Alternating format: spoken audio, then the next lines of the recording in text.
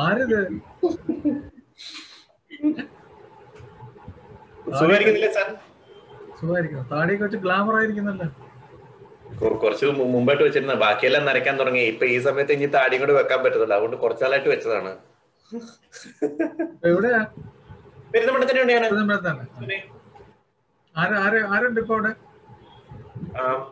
സോമ sir ഉണ്ട് മറ്റേ പോലെ? പിന്നെ സാറിന് മറ്റേ സുനിൽ പിഷാരടി ആ സുനിൽ ആ, പിന്നെ ഡോക്ടർ രാജഗോപാൽ മെഡിക്കൽ കോളേജിൽ ഉണ്ടായിരുന്നേ? അവർ രണ്ടുപേരുണ്ട്. പിന്നെ മറ്റേ ഇദ്ദേഹം കൂടെ ഉണ്ടായിരുന്നു മറ്റേ ഡോക്ടർ പ്രദീപ്. പുള്ളിക്കാരൻ ഇപ്പൊ ന്യൂസിലൻഡിലോട്ട് പോയി ഒരു ഫെലോഷിപ്പിനായിട്ട്. ചെവിയിലൊക്കെ വെച്ചേക്കുന്ന സാധനം. അയ്യോ. സാറേ സ്പീച്ച് ക്ലിയർ ആവാൻ വേണ്ടി മോന്റെ ഹെഡ്സെറ്റ് എടുത്ത് വെച്ചതാ. Não assim, meu?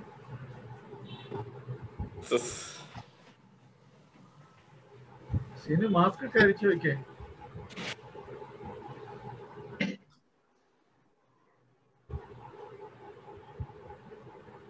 Good evening, sir. Good evening, good evening. Ashraf.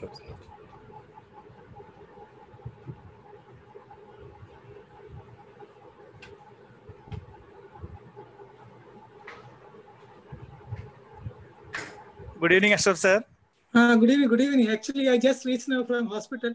My uh, is my audio is clear? Yeah, clear, sir. Okay, okay. Just uh, I'm my son is having KV exam there in the oh. other room, so just okay. waiting. for. postpone okay. at seven o'clock. It's okay for your thing.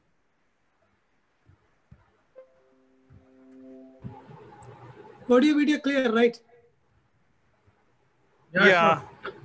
It's clear. Okay, now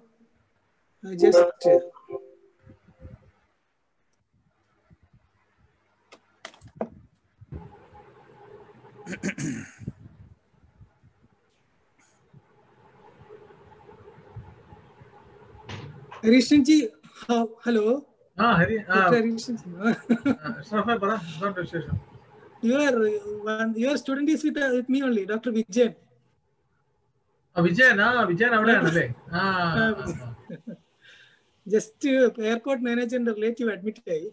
so oh. ഓടി പോയിട്ട് ആ അവർ വന്നു. അപ്പൊ just ഒരു primary പോലെ വന്നിട്ട് ഓടി വന്നതാണ്. ഇവിടെ എത്തുമ്പോഴേക്കും അവിടെ വൈഫൈ ക്ലിയർ ഇല്ല. കാത്തലവിന്റെ അടുത്ത്. ദെൻ ഇവിടെ വീട്ടിൽ നോക്കുമ്പോ എന്റെ മോന് ബേബി സ്കൂളിൽ എക്സാം സമയം ഇപ്പോ.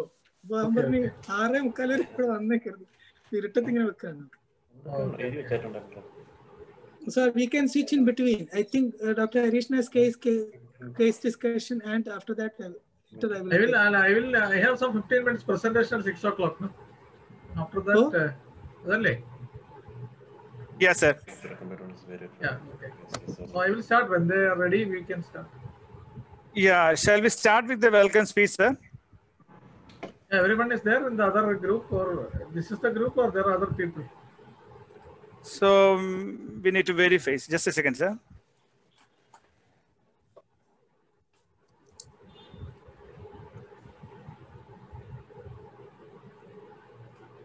How many audience uh, participants? Now 44 participants already. Okay, whenever you are ready, I am ready to start. Okay. Or you want a case to be presented or the presentation to them? Whichever way you want. Anil, shall we start? Yeah, definitely.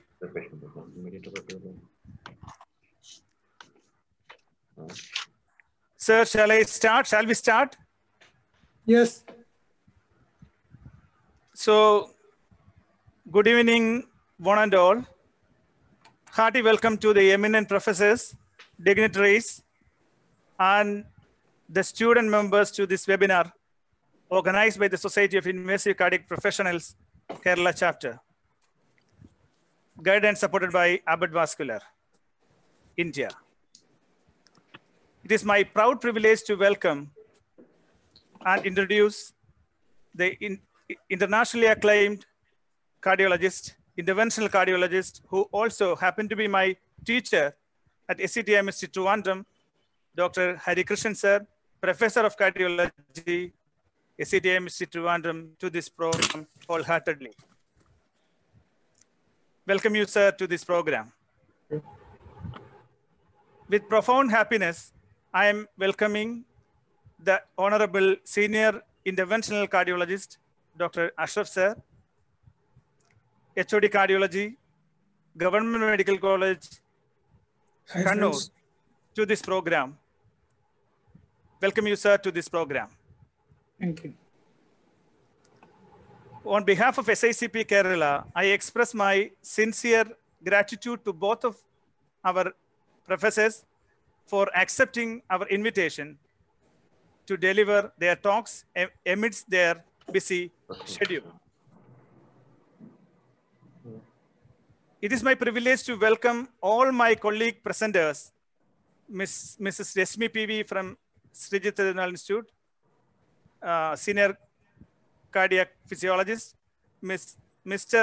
Girish Gopinath from EMS Hospital, Perinthalmanna, senior cardiac physiologist, Mrs. Sinu L, senior cardiac physiologist from ESA Hospital, Kollam, and Sanju Joseph from Lisie Hospital. He's, he's, he's also the senior cardiac physiologist. And welcome all the presenters to this webinar. I also welcome all the participants to this webinar. Good evening, everybody. I am quite sure that this webinar will be of definitely innovative, thought-provoking, informative, and knowledge sharing. And I wish all the best to this program and express my best, best wishes for the success. Thank you. So let me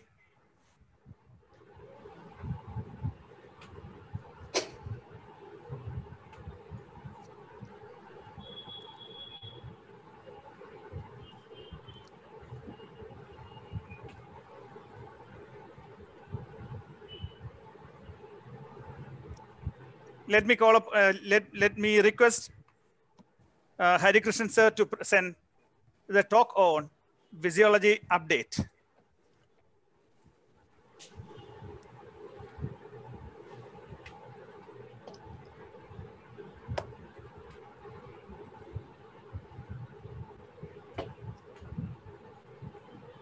Thank you, Anil. And uh, uh, can you see my slides? Yeah, we could see, sir. Can you see? Yes. Yeah, uh, good afternoon and uh, welcome to this program. Uh, first of all, I thank uh, SICP and uh, the uh, office bearers of the organization uh, to invite me to. Uh, and I thank Abbott Vascular for arranging this program. So I will uh, speak something about uh, coronary physiology updates on some new things which have happened, and uh, uh, uh, I will speak for about 15 minutes, uh, so that if you have any doubts and all, we can uh, discuss towards the end. So the scope of discussion will be, I will discuss about FFR, the non-hyperemic indices and the non-invasive indices like QFR. That is a thing which is going to come start with the limitation of why this uh, physiological assessment came is because uh, we know the limitations of the coronary angiogram because it is a luminogram where we see. Uh, you will see the uh, the vessel from one side, you will think that it is significant, but you see from the opposite side, it may not look significant. So that is a limitation of the coronary angiogram. So uh, when two people are given the same angiogram, the assessment of severity becomes different. So, and the next thing is the problem of uh, focal narrowing versus diffuse narrowing. You know that when there is a focal narrowing, the you think it is more significant, but when there is a diffuse narrowing, the functional significance may be more than uh, what you expect. So these are the limitations of the angiogram. So thus came the uh, FFR. We know that FFR is uh, uh, the uh, ratio by the distal pressure to the proximal pressure, PD by PA, and usually the normal FFR is 1. And this is the famous study by Nico Pijls, 1996, uh, showed that if the value is less than 0.75, it indicates a significant stenosis. If it is more than 0.8, uh, it is insignificant. That you all know. Then this was tested in different studies. For example, the DEFER study means that you do an FFR and keep the patient on medical treatment. You are not intervening and whether it is safe to defer such a treatment. So you see an angiogram, you think it is significant. Uh, uh, you think it is significant, uh, uh, but uh, uh, the, the you can whether you can defer it based on FFR. So uh, that was that strategy was tested. That strategy was tested, and uh, uh,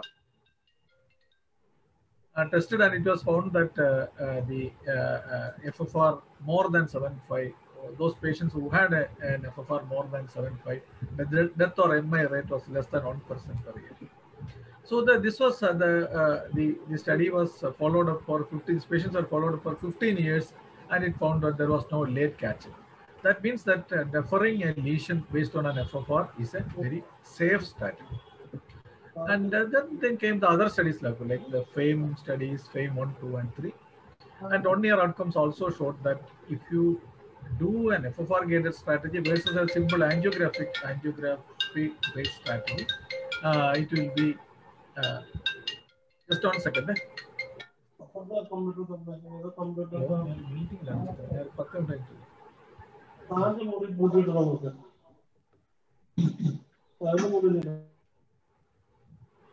Hello. Oh, sorry. Ah, so it is based on an FFR gated strategy versus angio graded strategy. It will be uh, be- uh, the angio FFR gated strategy was better. Uh, this was followed up for two years and followed to be the same. We also have published a similar study called the COFORD study.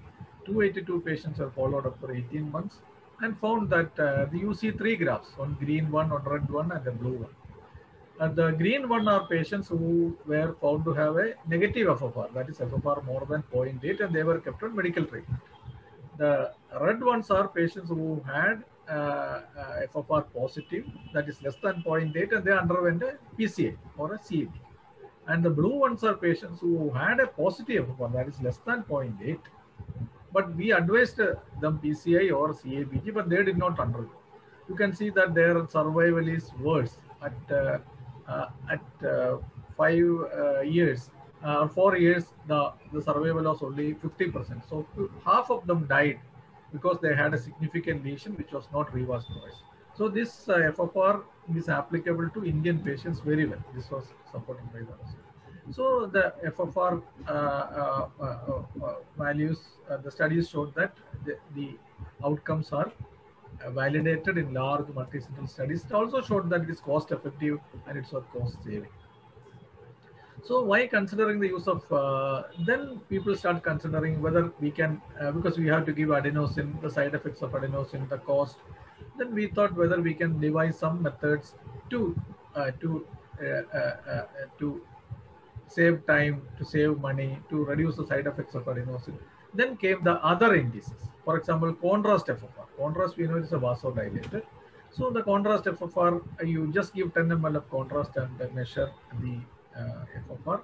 It was uh, uh, it was uh, found to be good, but not as good as as good as uh, the uh, adenosine derived FFR. So if you take all the uh, strategies uh, available currently, angio alone it is only 65% accuracy. If you take a PD by PA, that is a simple ratio. Once you put the wire, I will come to that later.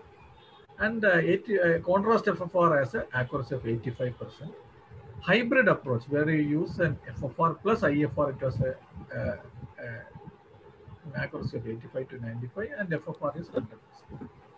So then come the non-hyperemic indices. What are non-hyperemic indices? There are many of them, like PD by PA, IFR, uh, DPR, small DPR, RFR, DFR, many things. I will not go to the details, but we will discuss two, three things in detail. One is DP by uh, uh, PD by PA, second is IFR, and third is RFR. So what is PD by PA? It's a basal pressure that you put the wire in, Uh, uh, in the coronary distal to the lesion. You give ni- 200 micrograms of nitroglycerin and you take the ratio without giving anything. That is the PD by PA. So it was found to have an accuracy of 0.8. It is also okay, but the accuracy was not as expected. Then came the IFR or instantaneous wave free ratio. So what is IFR? It is you are calculating the ratio of PD by PA in this particular period called the wave free period. Start from the dicrotic notch to uh, 25 30 milliseconds distal to the end of diastole. So these are uh, the this is the area where you calculate the IFR. So IFR, uh, we know that uh, ending 5 milliseconds before the end diastole. What there are many studies uh, which evaluated that and found that the red dots and the gray dots, which uh, represents IFR and FFR, were correlated. They were they were in the same line. Then came the other approach, the hybrid IFR RFR approach. So the what they did was they identified the cutoff as 0.89 and 3 plus 3, 0.86 to 0.9. If the IFR is more than 0.93, they are sure that it is a insignificant lesion. If it is less than 0.86, it is a significant lesion. If this is between the values are between 0.86 to 0.93, we will do FFR to make sure the lesion is significant or not. So this is the hybrid approach, which is practiced in many of the labs even now. Then came two large studies which was published in, uh, presented in 2070, the DEFINE-FLAIR and the and the Swede-Heart. Both these studies studies show that the IFR and FFR are equal. So this is the summary of what is IFR. Initially, the uh, the value which thought to significant was 0.83. Subsequently, 0.8 was tried, but both of them were not correct. Then subsequently, people found that the correct value of the particular IFR was 0.89. So now we know that 0.89 is the cutoff for the IFR value. So these studies showed that IFR is equal to FFR and the value is 0.8. So what are the advantage? There are some advantages of IFR. For example, you can do a pullback. For example, you see there is a, a pullback from distal vessel to the proximal vessel. You can see there are some areas of jump. This is called the jump. If the jump is more than 0.1, it indicates it is significant. So you see two situations. Here you see from 0.83 of IFR to 1. You can see a gradual rise in the pressure. Gradual rise in the pressure. So here you can see a focal disease. So which one will you stent? Diffuse disease, you cannot stent the whole vessel. So you don't have a particular benefit in doing this. But if you do this stent of this particular area, you can uh, get a benefit because uh, you are sending a focal area where you can send. This is an advantages of doing IFR. Then uh, there is in the machine itself, I think many of you must be using the IFR Scout pullback software where you uh, do this and. Then the third intensity, uh, third thing is the IFR intensity, which is uh, done with the angio co-registration. That is what they they integrate the angiographic uh, mm, uh, angiographic uh, image with the uh, FFR IFR values. You can see particular dots. Each dot represents 0.01 pressure drop. So if you the number of uh, dots are higher, it indicates a high, significant lesion compared to the non smaller dots. So what you do is you stent this area first and see whether the other areas are significant or not. So you can in the machine you can do a virtual stenting also. For example, you found that this area has the maximum dots. You put uh, the machine can do a virtual stenting and find out what is the subsequent F IFR of the other lesion, whether it is significant or not.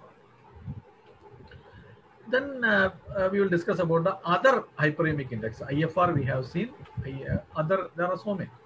Then we will discuss in detail about the RFR or the resting full cycle ratio.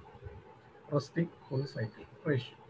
So in IFR, what we did was we took a part of diastole only and took the difference between PD and PA.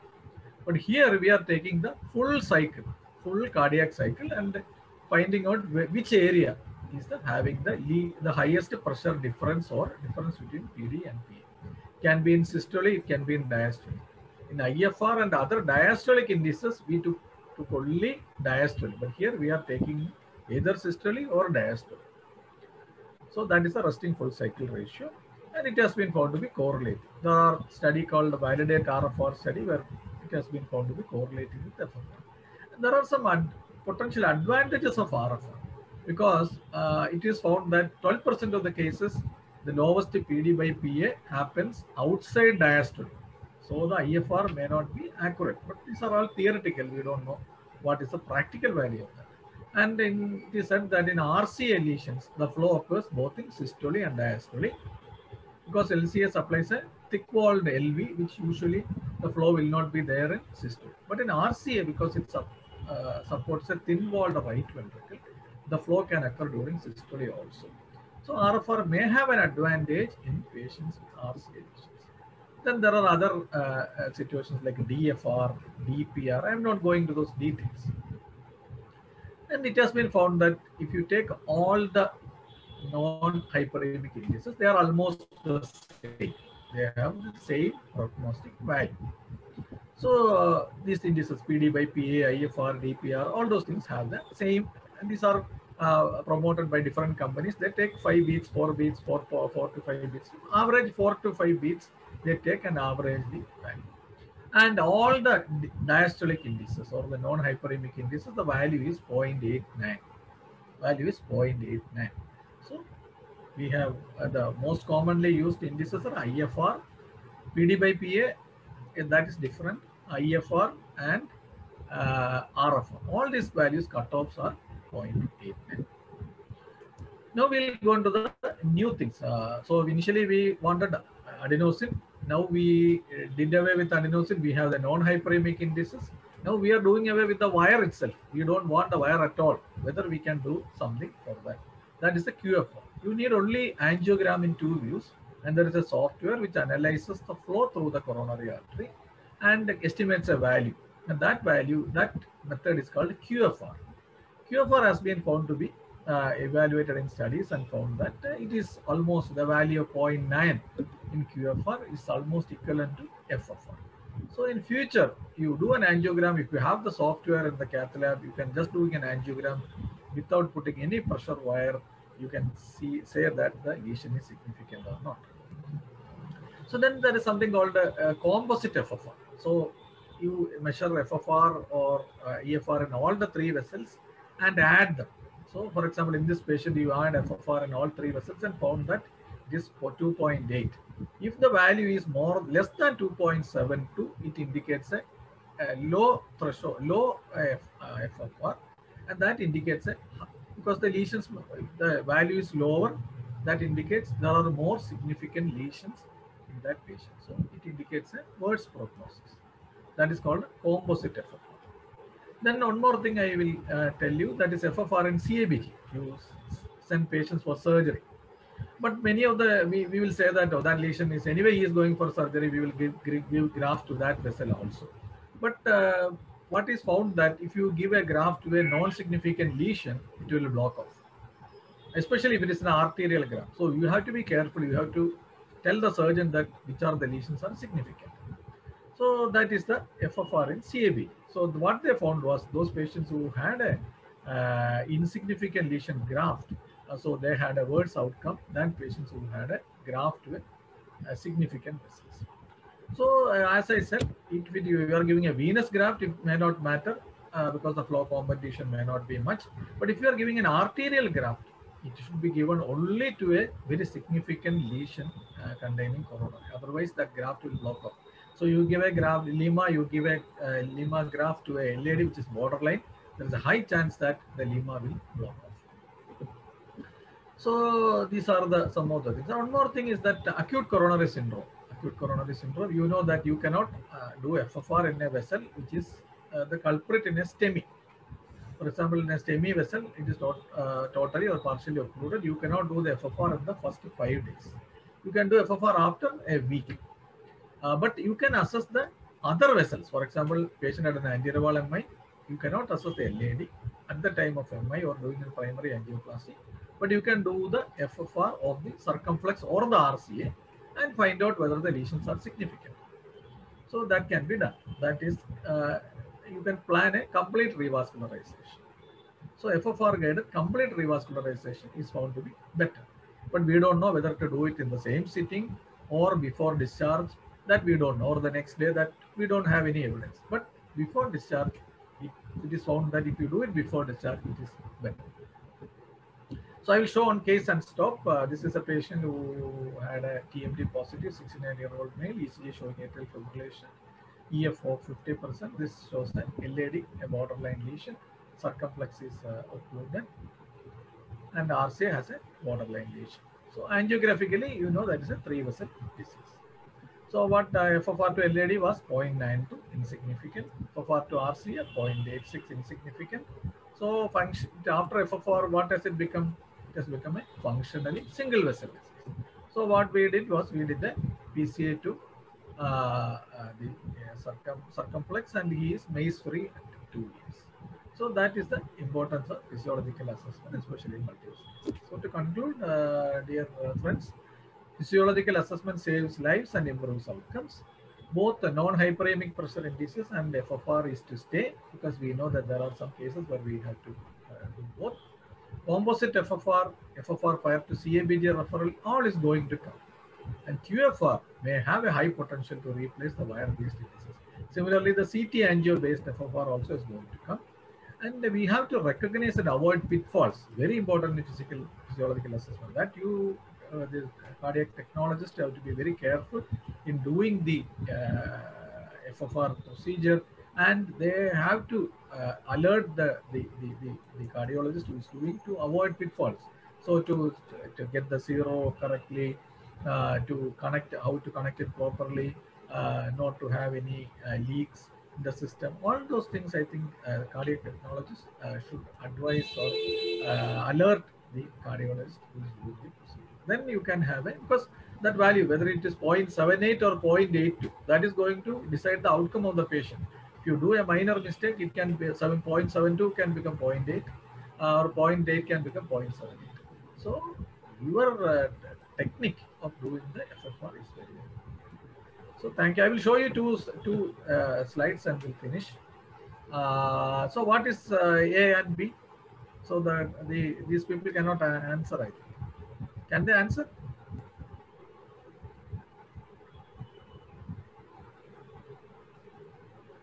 What is A? What is B?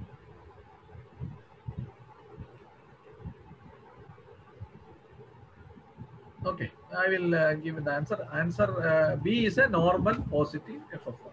You can see that the diastolic pressure falls further, but A is what is called the drift. And drift is the problem of the transducer. Problem. Drift and true gradient. Drift, the problem is the diastolic pressure and the systolic pressure will similarly drop. It's a, almost a reflection of the uh, PD and PA look similar but true gradient, the diastolic pressure will be more and than the systolic drop. The, what is this? When you give adenosine, the uh, normally there is a drop of the blood pressure because it is a vasodilator. So we, what you can see is there is a natural drop. This is a normal negative FFR, but the, there is a significant pressure drop both in the intracoronary and the uh, aortic pressure. So last uh, uh, the two tracings are shown. One is the catheter engaged and the other catheter disengaged. You can see that once the catheter is engaged, that gives a false negative value is 0.88. That means that the catheter has gone inside and the aortic pressure is not the true aortic pressure, it is a wedge pressure. So you have to always alert the, uh, the uh, cardiologist who is doing, who may not, may be busy, he is thinking of something else. So you have to tell them that this is a disengage. So always it is better to disengage the catheter, give some nitroglycerin and repeat the, repeat the uh, machine. So it is very, very important. So technologist uh, uh, role is very important in FFR. You always uh, have uh, the pitfalls in mind. Thank you so much. Thanks so much, sir. Very good, interesting talk. So, any any questions from?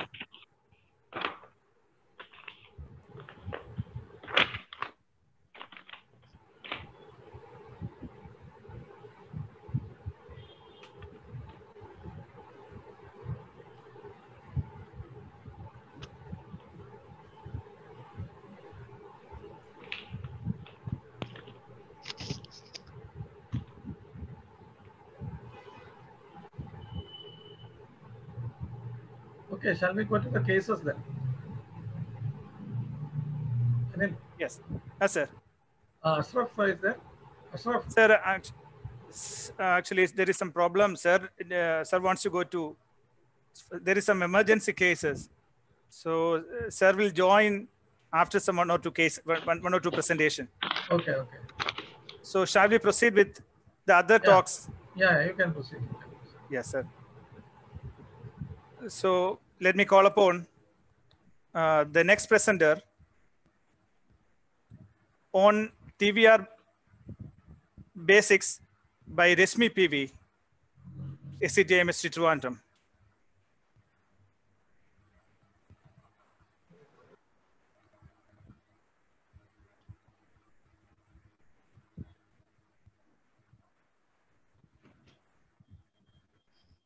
Our discussion,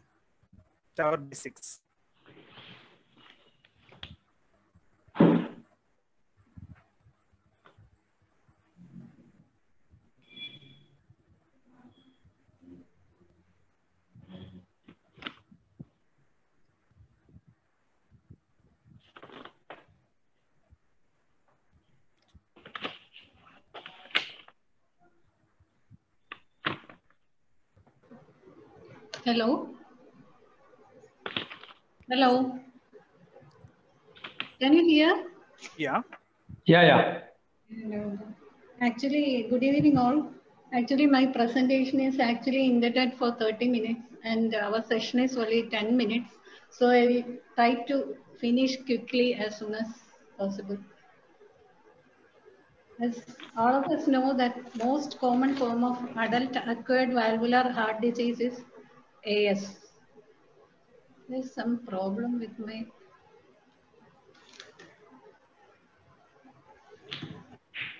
Hello?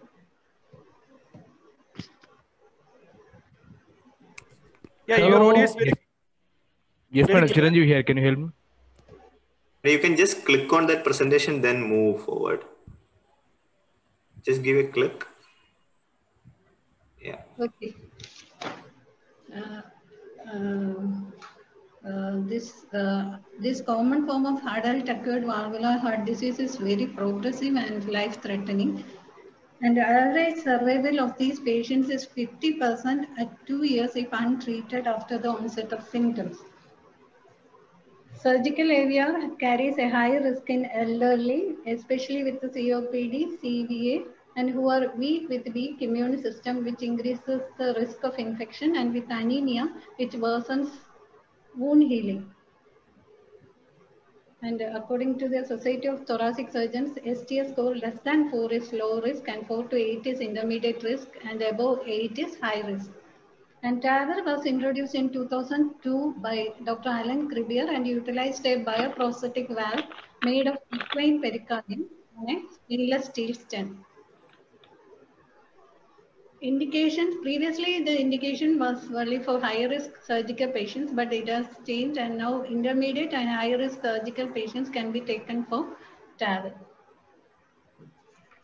And uh, contraindications for TAVR is hypersensitivity uh, to aspirin or heparin, bivalirudin, ticlopidine, clopidogrel, nitinol allergy, sensitivity to contrast media and any other uh, sepsis.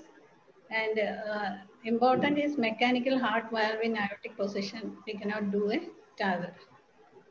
Now, TAVI hardwares and pre-procedural planning. And it's a team approach with a cardiologist, anesthetist, cardiothoracic surgeon, radiologist, echocardiographer technicians and nursing staff. Pre-TAVI workshop workup is clinical assessment and some patients may require a balloon aortic valvuloplasty before TAVI. Then coronary assessment, whether the patient uh, has to undergo a CAG to rule out any coronary artery disease and the annulus assessment. This will reduce the, minimize the paravalvular area, avoid device migration, valve selection, valve slightly greater than the annulus size, annulus size. And other relevant cardiac anatomy of LV anatomy and function. Check for the mitral valve, alveoli, bicuspid valve, valve calcification, angulation of ascending aorta, aortic valve anatomy and calcification, and important is assessment of peripheral arterial system. Pre-procedural screening is echocardiography. Echocardiography to document severity of AS, exclude other severe valvular heart diseases, valve anatomy and calcium distribution. And uh, uh, already said coronary angiography for any coronary lesions and multi-sliced CT to see the aortic valve. Relevant blood investigations. You can see the measurements taken. And other relevant uh, cardiac anatomy is of the aortic size and angulation of aortic root. Then aortic calcification, which can lead to dissection, stroke, and embolism. And the coronary ostial height, it should be more than 10 mm. This is aortic root angulation. This is just for recommendation for femoral axis and subclavian or right subclavian. Aortic root angulation, not recommended. Uh, angulation, femoral axis, not recommended for this ang angle. That is angle between horizontal plane and the plane of aortic annulus. If it is more than 70 degrees, femoral axis is not recommended. And left subclavian also. Annulus assessment by TTE and TE. Our, uh, actually, our uh, aortic annulus is uh, always not circular, which may lead to underestimation of planar imaging. So, multi-sliced CT, combined use of TTE, TE, multi-sliced CT, and aortography, 3D TE, and cardiac MRI needed.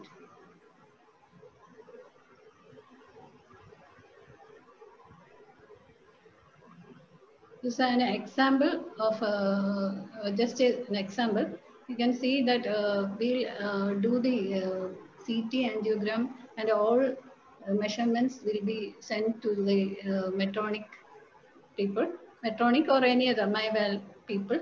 And there see, you can see that uh, they will derive diameter from the perimeter area derived diameter will be there. You can see one derived diameter, one example. If the annulus perimeter is 81.3, just see, and uh, 81.3, this comes for a valve of 29 mm. TAVR, route of access can be transfemoral, subclavian, carotid access, and others transapical. And here we are doing our route, no, we are doing only transfemoral approach till now. And types of valves are self-expandable and balloon expandable. You can see for uh, uh, whatever we are using is Evolute R and uh, Pro and balloon expandable mainly Sapien 3 and MyValve. This is a DCG, Drug Controller General of India approved valves, which can be used in our India. Sapien 3, Edward Life Sciences, Evolute R and Evolute Pro by Medtronic, MyValve by Meril, and other others, Porticos, Meters, Jena, Lotus, etc. Self-expanding valve advantages is smaller profile, repositionable, pacing during deployment is optional. Supra-annular design that will increase the effective orifice area and disadvantages are higher rate of pacemaker requirement. Balloon expandable valves, advantages, better maneuverable, less pacemaker requirements, disadvantages of risk of annular rupture and pacing during deployment needed. You can see that uh, balloon expandable valve, my valve, see the my valve crossing the aortic arch is better maneuverable. Materials required for balloon expandable valves are pacing wire that is uh, extremely important, dedicated indiflator for valve expansion, dedicated sheath uh, uh, required, and pressure injectors, straight tip thermo Teflon wires, Amplatz wires, Confida Lunderquist wires, snare and peripheral covered stents, probe lights, pre-dilatation balloons. And self-expanding ice cold sterile saline is needed for loading the valve. We need pressure injector for uh, LV angio and aortic root angio. Straight tip thermo Teflon wire for crossing the valve, different shaped catheters, pigtails, Amblat super stiff, confida wire, Lunderquist wire, EZ balloon, EZ med balloons, true balloon or atlas gold balloon for post dilatation if needed, and snares, peripheral covered stents, 18 to 20 front sheets, probe lights, and pacing wire. Edward, just going through this uh, quickly. Just this is Edward Sapien valve. Now it's available by Sapien 3 and Sapien Ultra. And it's a bovine pericardial leaflet with a with a cobalt chromium stem frame. See one balloon. St- valve cream on a balloon.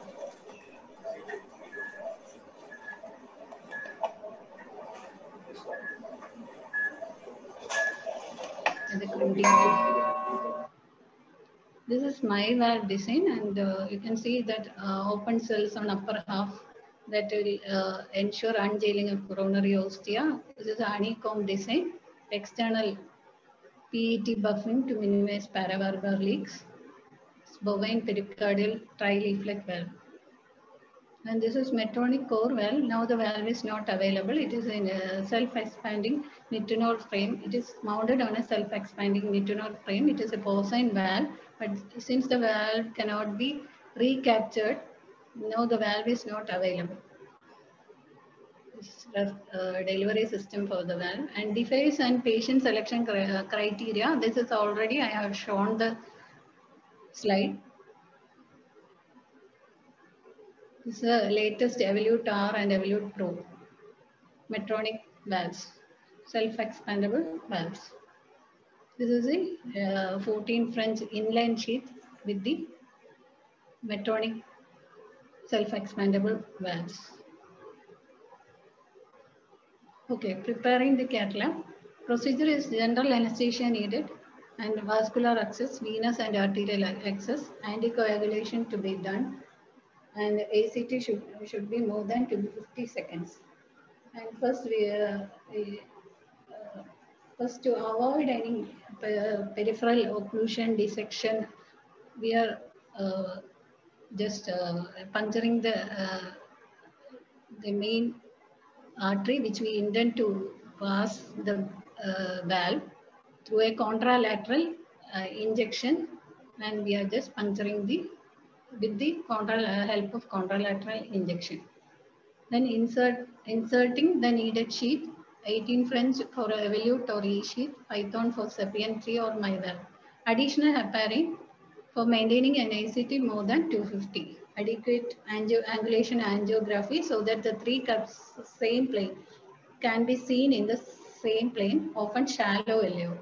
And five front balloon tip pacing lead to the RV apex we can check the pacing and sensing threshold, check uh, RVP at higher rates to maintain aortic systolic pressure around 60 millimeters of mercury. AL1 catheter to AL1 catheter to be passed through the sinus of Valsalva and O35 Teflon strip, straight tip to cross the aortic valve. Once crossed, the straight tip wire can be exchanged to a O35J tip exchange wire and AL1 will be exchanged to a pigtail valve gradients measure. BAV may be done if needed. Careful insertion of the confida wire into the LV. The valve already preloaded and kept ready positioned in the aortic so that once BAV, uh, BAV done, the patient can crash. That, that's why the valve should be already preloaded and kept ready. And careful deployment of the valve. Assess T by TE and angio if paravalvular leak present, post dilate with the balloon. Balloon size based on the smaller aortic annular size based on CT. Assess rhythm and if stable, remove TPI. And our uh, criteria is if QRS widening is present, patient will be kept for TPA for 24 hours. Access closure by proglide switches. Confirm uh, any AR or is there by angio, echo for pericardial effusion, MR, AR, etc. And this is just a comparison between the confida wire, Amplatz extra stiff, safari wire, and Lunderquist wire. You can see that a Lunderquist wire is the stiffest wire in this section. Evaluate hemodynamics. Assess valve function using echocardiography. This is post TAVR. Assess the valve function using echocardiography, angiography, and hemodynamics. All findings indicate the absence of, if there is no paravalvular regurgitation and expansion of valve is complete, the procedure can be completed. If there is any paravalvular leak, we can wait and reassess and find out the cause for paravalvular leak. Role of technician is identify the coplanar view, removing the parallax in the system by changing angulation, uh, okay, pacing, identifying the correct loading of the valve, defibrillation angiogram, keeping all the materials for rescue procedures like peri- pericardial synthesis, peripheral covered stents and vascular balloons. Now coming to the complications of TAVR, stroke can happen, coronary obstruction and peri-procedural MI can be uh, can happen. Then annular rupture, any rhythm abnormalities, paravalvular leak, mitral valve injury. Other complications, bleeding risk secondary to antiplatelets, hypertension and acute kidney injury. Access site complications. Yes. Potential advantages of TAVR over, over surgery is less invasive and lower risk of bleeding, shorter length of stay and recovery, similar rates of mortality and stroke in both uh, surgery and TAVR. Economic impact and quality of life will be significantly more for femoral TAVR patients, although initial costs are very high. One case example we have done in Chitra. This is a 65 year male with a prosthetic aortic valve, very mount. Now with severe AR, degeneration of prosthetic, bioprosthetic valve, good LV function, no PAH.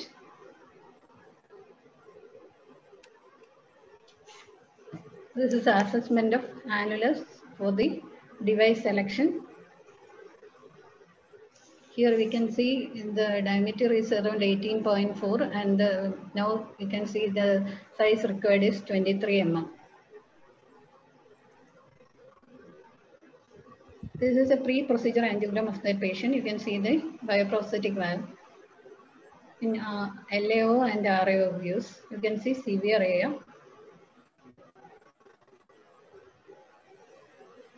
Crossing the aortic valve with the stiff wire with the support of AL1 catheter. See the self-expandable valve is directed to the coronary uh, aortic annulus.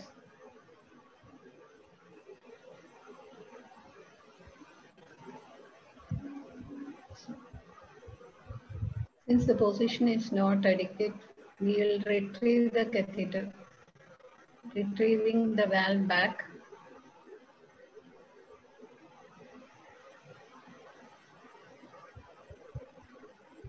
again.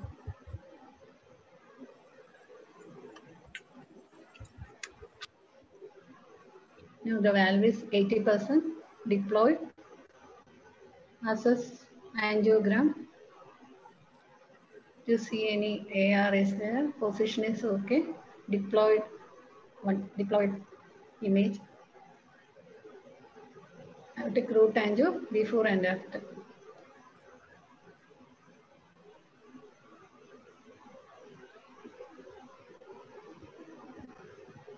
Thank you.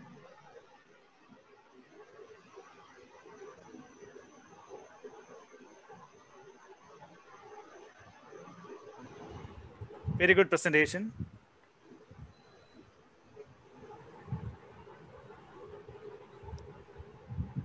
Thank you, Resmi, for your excellent presentation. Um,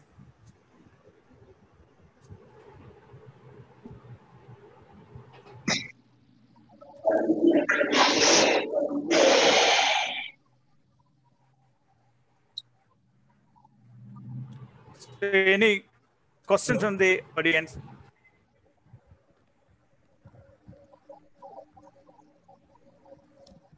Hello. How to manage coronary artery occlusion during deployment of the valve? That a valve can be positioned 3 to 5 millimeter below the aortic annulus.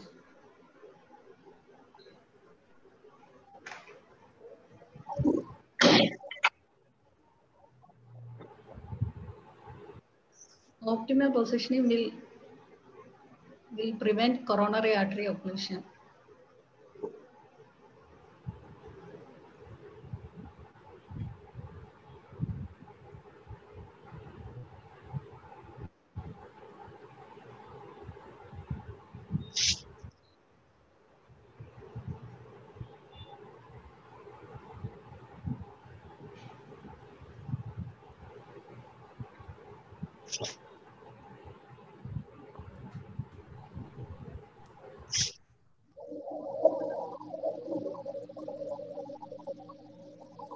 Questions?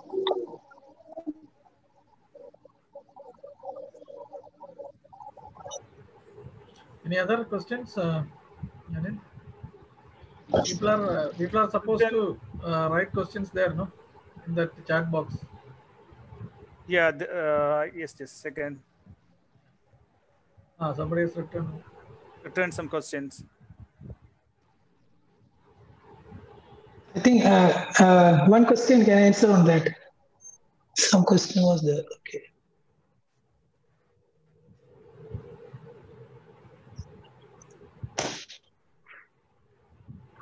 Dr. Harikrishnan, are you hearing me? No. Yeah, yeah, I can hear. Hello? Okay. Just checking, rechecking.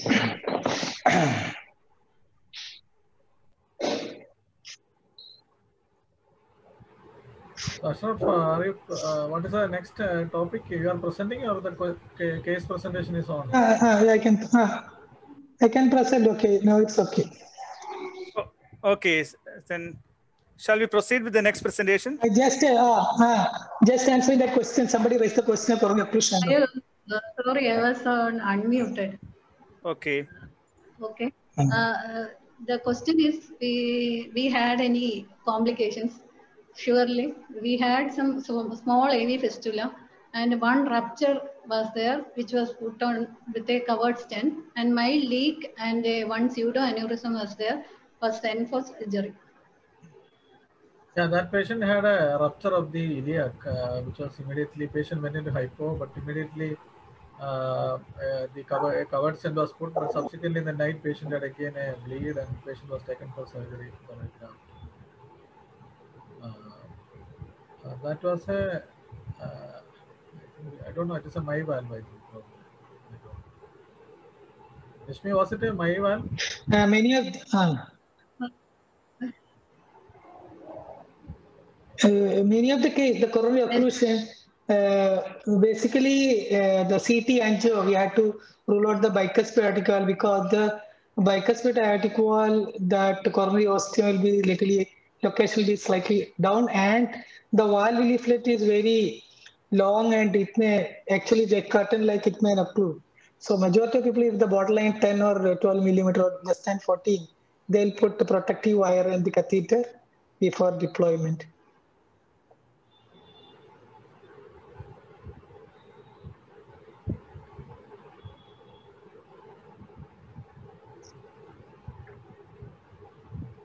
Okay, sir. Can I uh, go with my presentation? Yeah, sir. Shall we go to the next presentation? Simplifying complex angioplasty planning and selection, technician's perspective One second. by Ashraf, sir. Please. One second.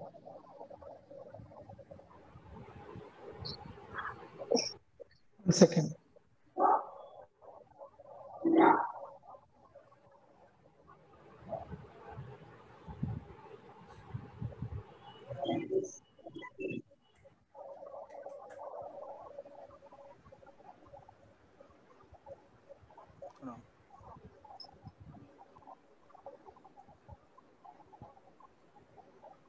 Sorry. ആ,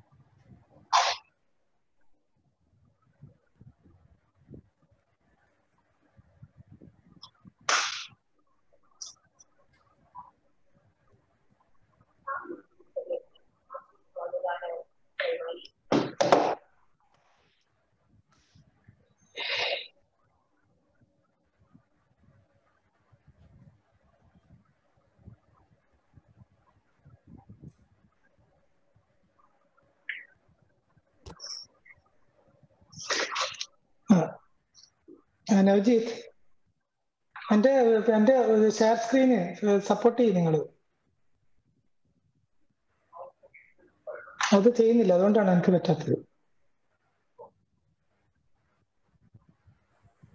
Hello Chiranjeevi are you there yes.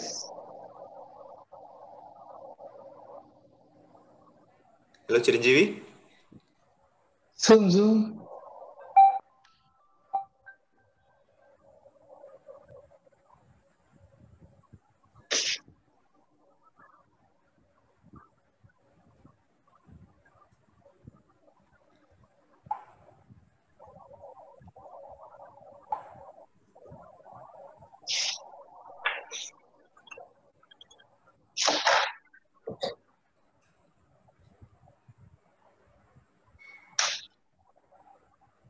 Hello, Chiranjeevi. Hello. Yes, Sudesh. Yeah, can you just help doctor to share the screen? Sir, already I am sharing, but uh, you have to accept it. No, sir. There is no uh, set option here. You're using laptop or mobile, sir? No, iPad. iPad. Yeah.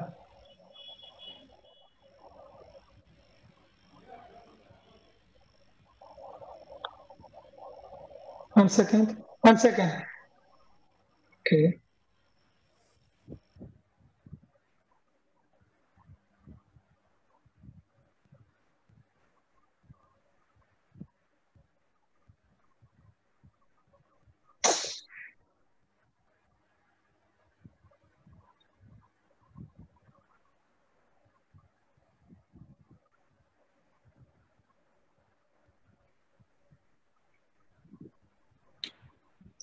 Okay, you can go. ahead. I will go with the, I mean, uh, uh, I- my computer. Okay, it's okay.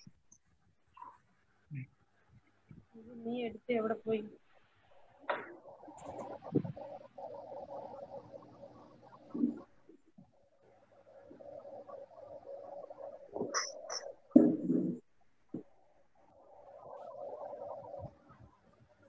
Okay, you go with uh, your uh, presentation. By the time, uh, correct it. Okay, thank you. Okay, you go Okay. with the presentation. Okay. Okay. Shall we? Go with the presentation. Okay. Okay, so shall we call upon the next presenter, Mr. Gi- Girish Gopinath. He will be presenting on broken wire taken by wire entangle technique, entangled wire technique. So he is the uh, cardiac technologist from uh, EMS Hospital, Perinthalmanna.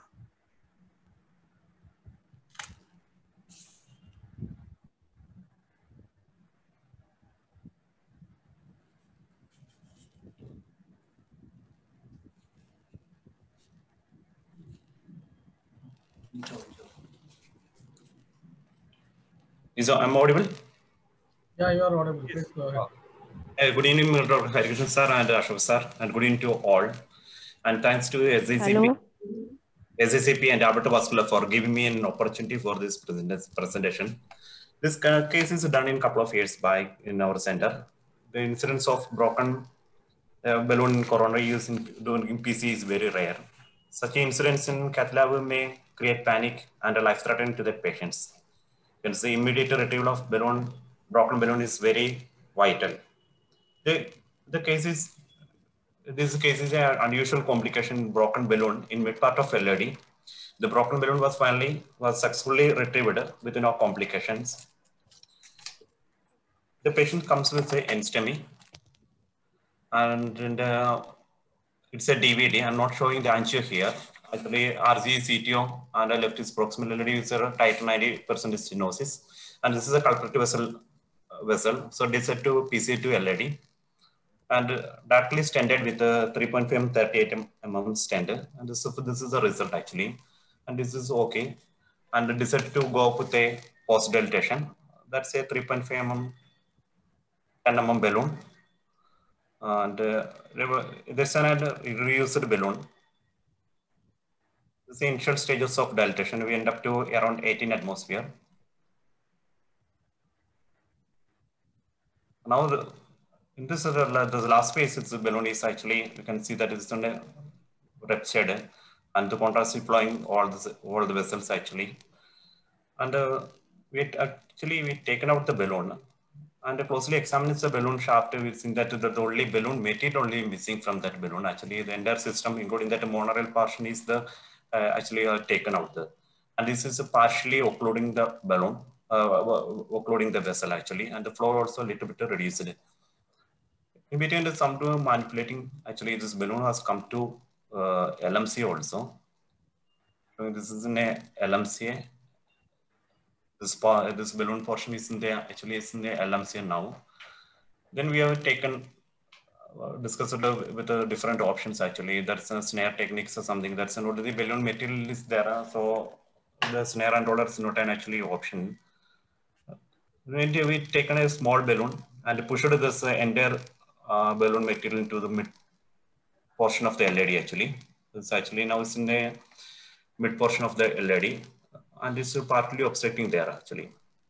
And uh, we have passed another wire.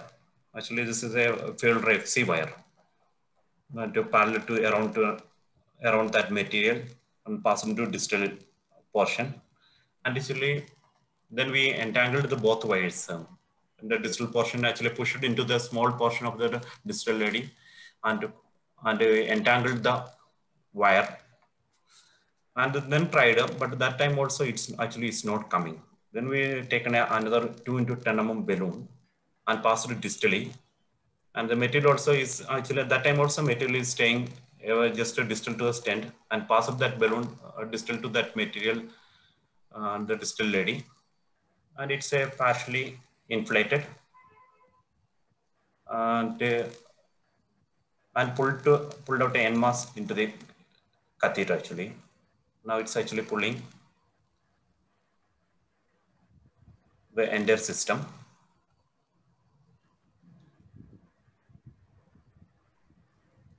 And taken notice N end mass actually.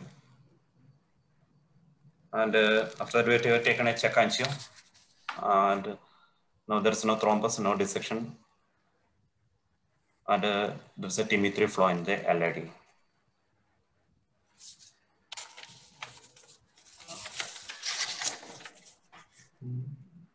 Actually, there is no evidence-based optimal approach for, uh, for this, such cases. And the choice of retrieval techniques usually individuals in most cases based on play, uh, patient condition and the availability of retrieval devices.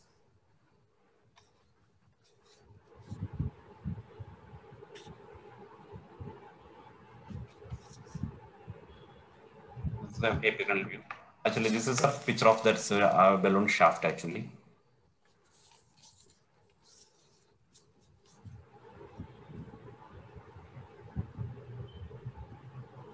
Final answer. It's an evidence that it is all the lab should equipped with uh, all the re- retriever devices like snares, uh, two, three loops, uh, covered stents, uh, microcatheter, PVA particles, everything, especially using the reusable things, uh, things actually. Thank you. Thank you for Uh, your Girish. nice. Yeah, Girish, uh, good case. Uh, uh, see, uh, how, how did you entangle the two wires? Did you use a uh, to hear what is it? Uh, the torquer. Usually, people recommend to put two wires in the particular torquer and uh, intertwine it. How did you do it? No, sir, we will not use the torque. Actually, we will push the both wire distally. Actually, distal, uh, distal to the. Then actually that almost caught there. Then we entangled actually. with them. Then I Yeah, tried. people, uh, people recommend uh, to put the two wires into a single torque and uh, try to rotate it. Uh, then it will get entangled better. Okay. And uh, your uh, second balloon was put through the second wire, no? A second wire, sir. That's also important. That you, go, the second wire only. But in, in instead of a, keeping torque in the proximally, we can push in the distal wire, making the double loop or something. That's a chance of entangle is very high actually. To keep the wire in the distal motor portion yeah, instead that, of that trying proximally, yeah, also that is also, try distally actually. also uh, yeah that the second thing is all these systems i think pro- usually will get stuck at the uh, when you take into the femoral artery catheter even though you have a you have pulled it into the descending aorta it may get stuck in the uh, proximal part of the uh, the tip of the uh, sheath. So always be careful when you pull the whole system out, you have to make sure that uh, you screen that femoral artery and then pull. Otherwise, when you pull out, the still the balloon tip may be in the embolized in the uh, lower part of the femoral. Uh, it may go, it may get embolized from the wire which is uh, holding it. So you have to be very carefully take out uh, through the sheath only, but through screening the femoral part. Okay. Or basically any, uh, for example, any embolized part, any other part, you have to put the catheter and you have to cut the, uh, suppose you are using the guide catheter and all, you can extend the guide catheter and make it uh, cut in the tangentially. So that area, suppose your guide catheter is there, you can take it out and put through the wire, through the extension. The tip of the guide catheter or whatever sheath, whatever embolized material, you have to cut in a tangential matter, manner, like you have cut not like this, vertically you have to cut like this. So you get a wider area. So naturally it will come into the guide catheter water. So all embolized particle anywhere in our body, uh, whether you are put in a, you have to make at least one or two French larger sheath or larger guide catheter and cut uh, tangentially. Then uh, take that embolized part through that. Otherwise, what Dr. Harikrishnan it may, I mean, dissolve from the that area. Always, if possible, upsize the uh, sheath whenever possible. Yeah, Many sheath times it and- may not be possible, but always upsizing will uh, give you a, a significant piece of meat. The cutting and all make damage the vessels, right, sir?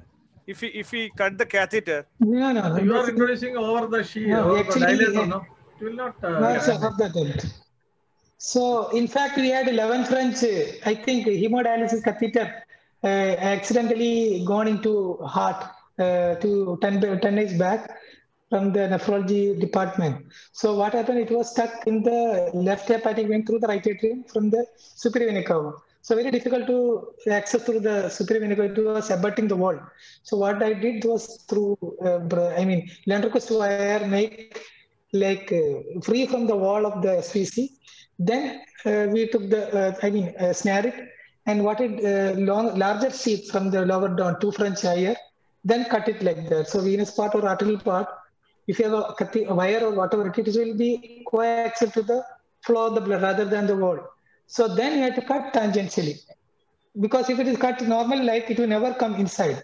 So always that cut is very, very important. Like cut should be like this and uh, you get a larger surface area entering into the uh, catheter. So majority of time difficulty in that area, Dr. Harikrishnan said, and it will be difficult in that area. Again, surgeon has to remove all these things. So that become very easy after this.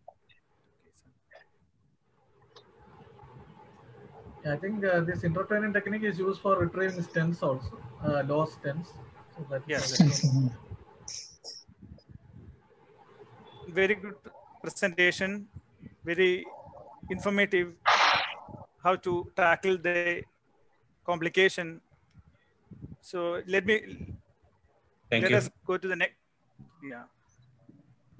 Shall we go to the next topic?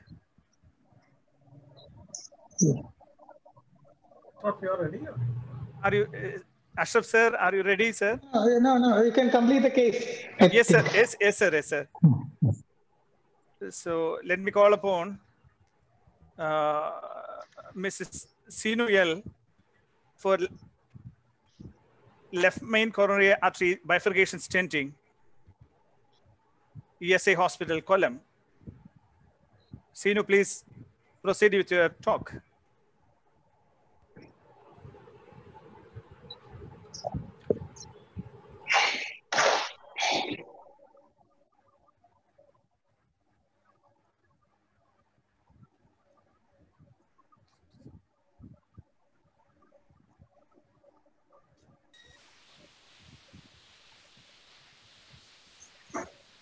Hello.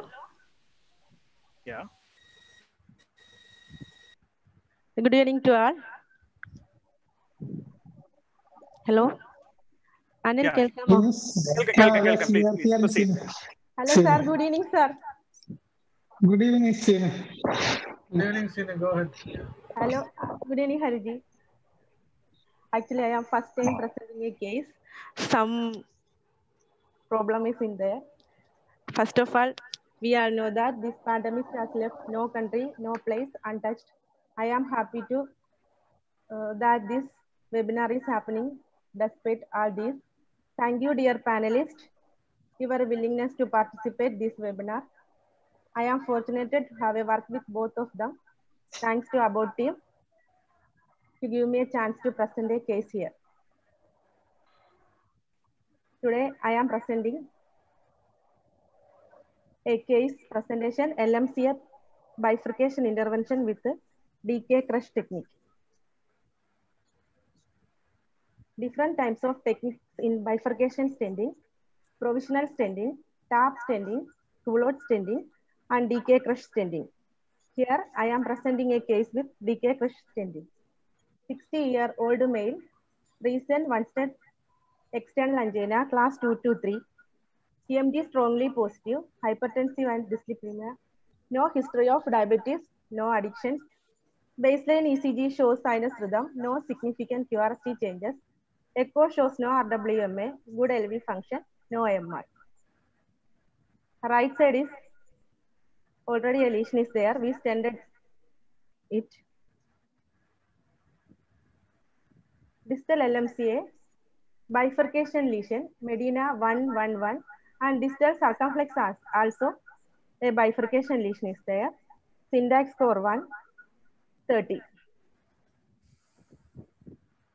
Cannulated with the 7 French EBU 3.5 and the distal circumflex provisionally standing with the 326 regulating stent.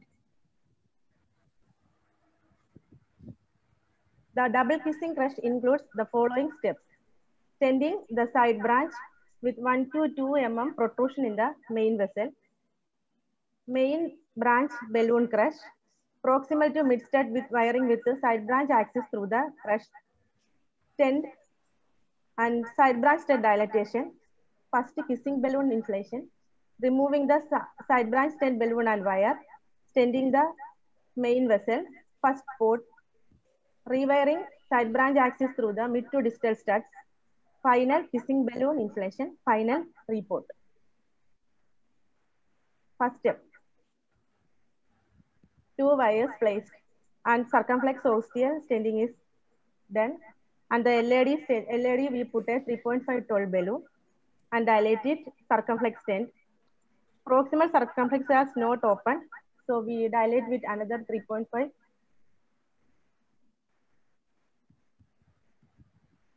3.5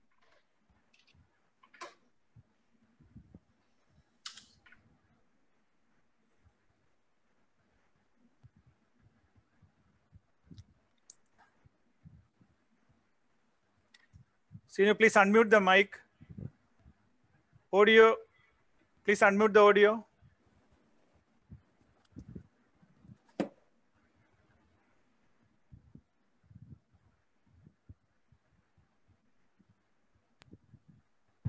Can No, we can't hear? hear you. Yeah, We please. can't Hear you. Please unmute. Then 3.5 12 mm NC balloon used to LAD, LMCT LAD. Second step remove SB uh, side branch wire balloon. Then fast crush, crushing the minimally protruded circumflex tent, 1 to 2 mm protrusion in the main vessel. The third step is first recross recrossing through the proximal to mid step. 212 NC balloon, dilate with the 212 NC balloon. After that, 2.5 12 mm balloon and 3.5 12 balloon, mm balloon we used for uh, post dilatation. Fourth step, is kissing balloon. We use 3.5 12 and 3.5 15 non-compliant balloon. Kissing that. Removing the side branch balloon and wire. And the second crushing is with LMCT LAD stent, deploying the main branch stent 4 into 3, uh, 38 dust. Here, first port, proximal optimization. 4.5 12 window non-compliant balloon is used it. Step by step port. Take a short NC or non-compliant or uh, semi-compliant balloon. Place distal balloon marker just above or in front of the carina level. Most sorry. Most projections in the side branch take off while positioning the balloon. In fluoroscopy, use 10 enhancement software is to preciously position the distal balloon marker. Use adequate balloon pressure to dilate the unopposed stent. Eighth step. Second, recrossing through non-distal struts. 212 1, 2.5 12 mm non-compliant balloon. And second kissing balloon dilatation is here. 3.5 12 1 in circumflex and 412 balloon in LMCA to LAD taken. Kissing balloon dilatation. How to perform optimal final kissing. Balloon size according to the distal reference. Short balloons or non-compliant balloons we can use. Side branch first, then simultaneous injection, uh, simultaneous inflation, at least 20 to 30 seconds. Final single balloon proximal inflation, second put. Second put with a 5 into 12 non-compliant balloon. The distal shoulder of the balloon should be positioned just proximal to the carina, while the proximal balloon is still completely within the stent in order to avoid inodorant proximal vessel injury. In different balloons, the marker is different. So be careful to use the marker positioning. Final shot.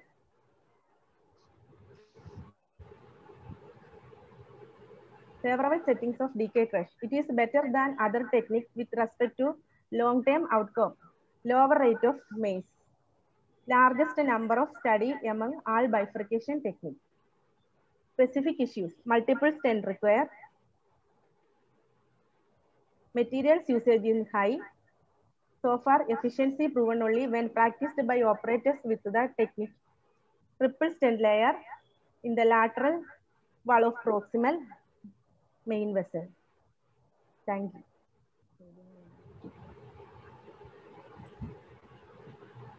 Thank you, Senior, for that uh, nice case and the nice presentation. Uh, Thank you.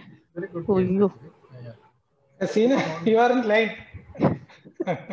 Sir, no more Sina, the very beautiful presentation, didactic lecture. Very good. Excellent Thank you, presentation. sir. Thank you, sir. I first met in 2006, Sina with me in, uh, in Pariyaram. Those times she was so studious and very active. Still Actually, looking you are, same you are also my one of my mentor. Harji, I can't forget it.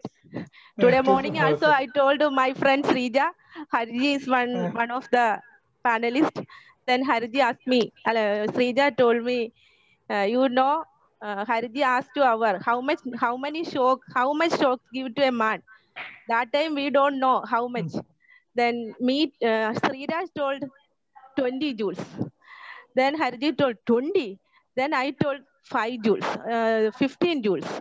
Then 15. Then Srija told 5 joules. You you give uh, and you give the shock to and Hariji asked me. Well, Today morning also we tell and uh,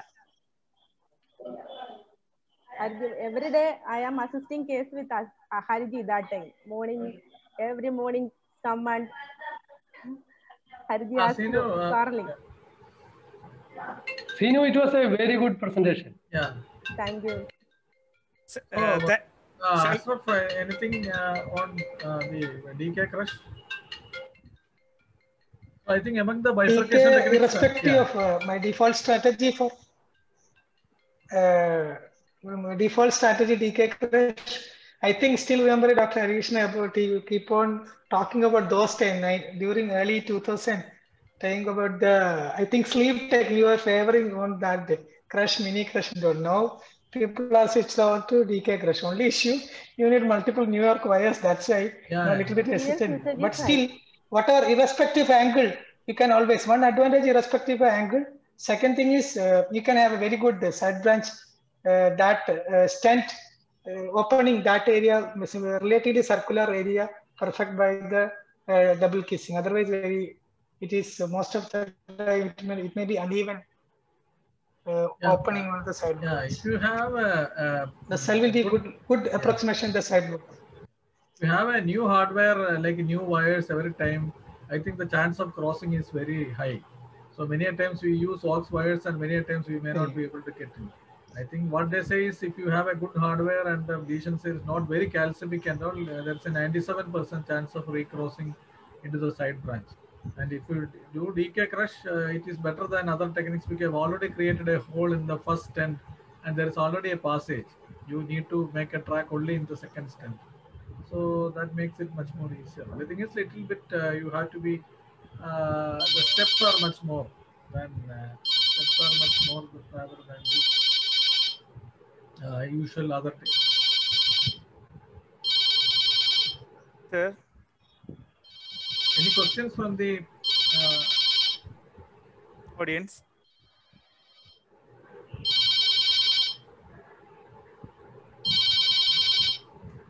Thank you, Sinu, for your outstanding presentation. Thank you so much. Shall we go uh, move on to the next presenter, sir? yeah, yeah, please. Thank you. Shall we call upon uh, Mr. Sanju Joseph from Lisie Hospital, Cochin, to present imaging in left main complex stenting.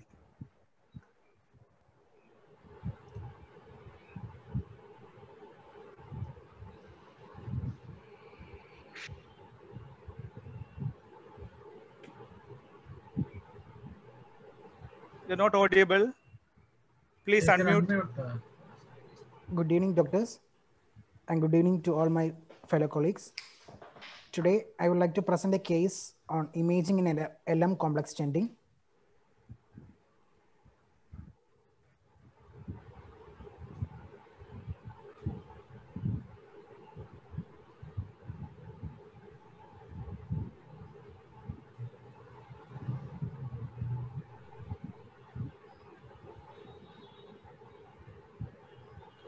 We had a 65 year old male. He was presented with effort angina. His TMT was positive and his LV function was good. Angiogram shows there is a 70 to 80% lesion in the proximal LAD, while his uh, circumflex and RCA was normal. PCI was done to the proximal LAD with a 3 into 18 mm deb des. Post dilation was done and we can see the stendies were deployed there. Finally, we have achieved a TIMI3 flow in the LAD. The patient was discharged from the hospital. On reaching home, he started to develop angina and he was readmitted in the hospital after two to three weeks with a class 3 angina. His stroke was also elevated. Angiography was done and we could spot a new lesion in the proximal LAD while all the other vessels was normal. We can see a pedestant stenosis in the angiography.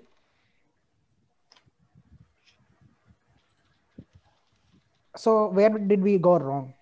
Is it because of a wrong stent placement or um, have we missed the proximal lesion there? Or is there is a aggressive neointimal proliferation or due to excessive post dilation? Or should we have already used an imaging technology before stenting? Now we have to find out a solution for the situation.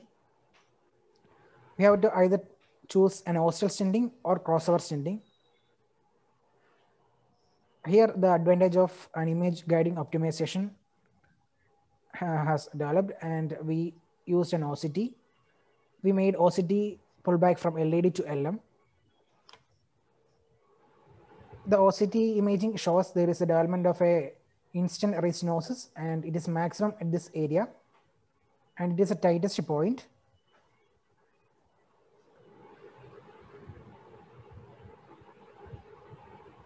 This is the OCT imaging of various sections of the vessel. We can see ISR has started to take place inside the stent from here. It is uh, slowly progressing here and it is maximizing here. And at this point, it is the tightest area. OCT also sh shows there is a circ which is free of disease and its ostium is clean. Now coming to the strategy, should we go for an ostial stenting or should we go for a crossover or LM bifurcation or should we use a drug coated balloon there? Or should we send the patient for CABG because of the aggressive neoatherosclerosis? Finally, we had decided for a, finally we decided for a crossover stenting. We wired both LAD and circumflex with a 3.5 mm uh, stent uh, of length 23. We uh, stented there. After stenting, an OCT run was made from the LAD to LM. We can see there is a clear struts of both stents there and there is a clear overlap there. And OCT image shows us that there is a strut present at the there is strut present in the opening of the circ and the LM is also clean. This is the OCT from LAD to LM. Shows there is a strut at the circumflex. We have all also done a OCT from LCX to LM in order to show the carina of the circumflex. This is a LCX carina view.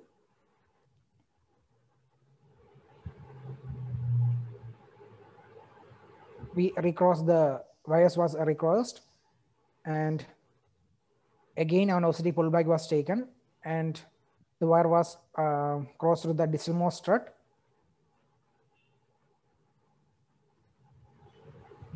Because of the presence of the strut at the uh, circumflex, we planned for a soft kiss with a 3.5 mm balloon in the LAD and a 2.5 mm, mm balloon in circumflex. We planned for a soft kiss.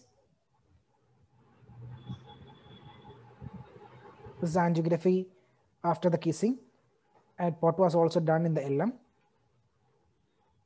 to circ. This is the angiography um, final result of the angiogram shows uh, there is a good flow in both LM, LAD as well as in circumflex. And angiographically, we can see there is no under expansion of the stent and not much damage has been caused to the circumflex. The final OCT run shows a well deployed stent and we can see that there is no marker across the circumflex as it is clean from the OCT. And coming to the, les the lessons that we have learned from this case is that we should meticulously plan each and every procedure. And if feasible, we should always use the help of imaging technology, especially in case of stent uh, thrombosis, as well as when we are dealing with complex lesions, definitely image guided technology should be made useful.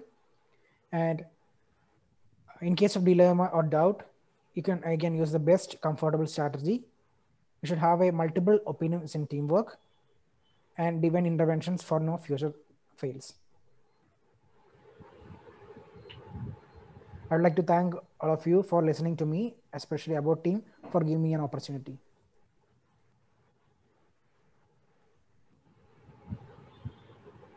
Thank you, San- Sanju, for your excellent presentation. Uh, Sanju, nice case. Um, uh, what I uh, what we saw is that uh, it is actually at the edge of the stent. No, the stenosis was at the edge of the stent, proximal edge of the stent. Yeah, proximal, sir, proximal. Sir. Be a geographical miss where we have initial part. We might have missed a, a small plaque which might have uh, grown subsequently in severity. Yes, I do the That stent. is possible. Okay. Uh, we didn't find any other uh, dissections or anything or under expansion of the stent at the not under expansion malapposition of the stent at the proximal edge. Probably it could be a geographical miss. Uh, Okay, sir.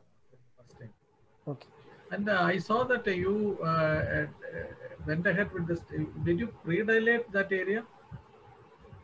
Because I saw the stent going up with the waist.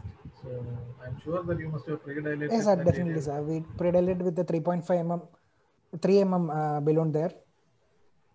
such cases always pre-dilate. No, if you put a stent there and if it's not uh, getting dilated, maybe a severely fibrotic lesion.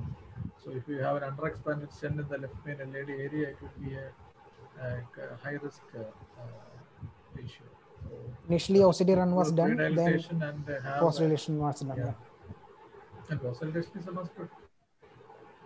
Uh, adequate preparation of the lesion. So if you are putting in three stent, ideally you should uh, put a three balloon and have a reasonable dilatation. At least put a 2.5 and have a reasonable dilatation because the underexpanded stent is the most dangerous thing to have rather than malposition. Ashraf, any comments? Unmute, unmute.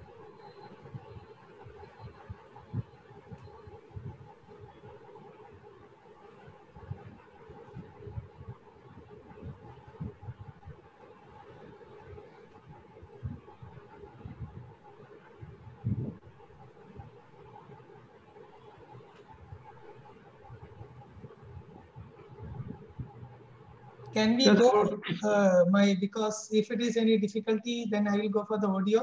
And what I did now, I tra- transferred my iPad content through the this one uh, uh, and uh, with the Bluetooth to another device.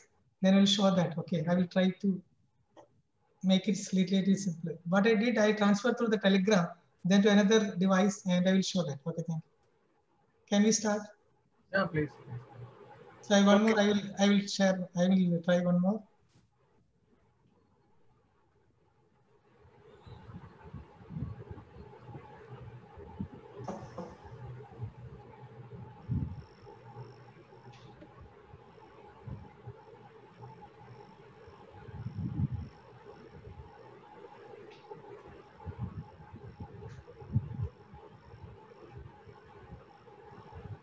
Not sure. Just stop it then. Ashraf, uh, can you send those slides to somebody in the Yeah, group? Then Okay, we okay. can probably we can present. so, so I will start. Sorry for all these tech, uh, I mean, technical uh, issue.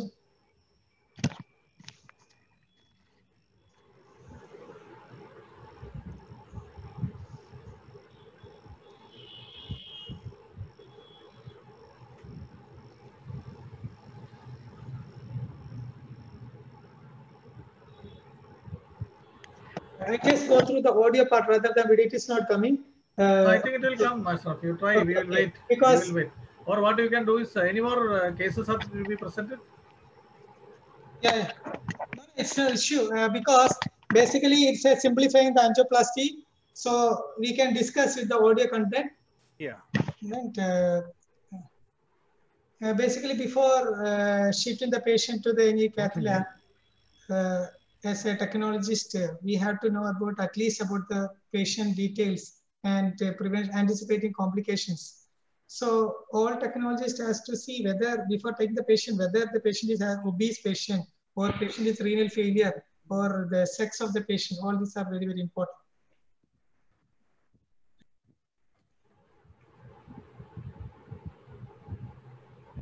Sir, please unmute. First of all, we should have at least uh, some sort of uh, uh, anatomy about the radial artery and uh, also femoral artery, how femoral artery is going down and going retroperitoneally and the aorta. So that certain uh, little bit trick anatomy we should be very sure about that. For example, in a femoral artery puncture, the doctor already made a puncture on that and uh, sheath is going kinking. Then you have to show the fluoro. Actually, uh, femoral artery is going down and dipping down posteriorly and and very near to the spine. So there is just it's like we are sitting in a chair.